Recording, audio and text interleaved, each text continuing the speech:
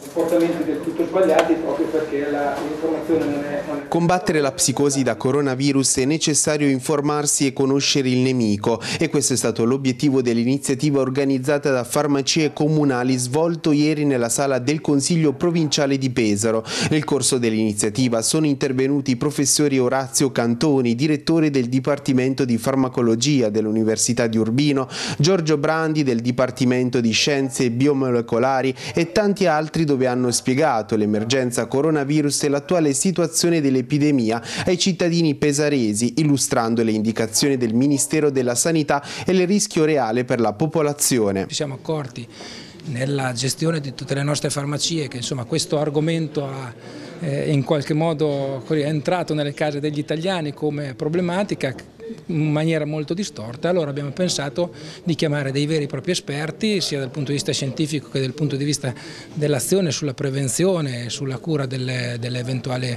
problematiche che potrebbe ancora non manifestata, ma potrebbe manifestarti. L'incontro di informazione per l'opinione pubblica ha documentato il tipo di virus e i sintomi connessi, l'attuale situazione dell'epidemia, la prevenzione, i numeri effettivi di emergenza e infine le indicazioni ministeriali. Da biochimico posso dire che si tratta di un virus RNA, quindi dotato di una più elevata suscettibilità mutare. Eh, credo che dovremmo attendere ancora almeno una decina di giorni per capire come questa epidemia sviluppatasi a Wuhan possa essere contenuta.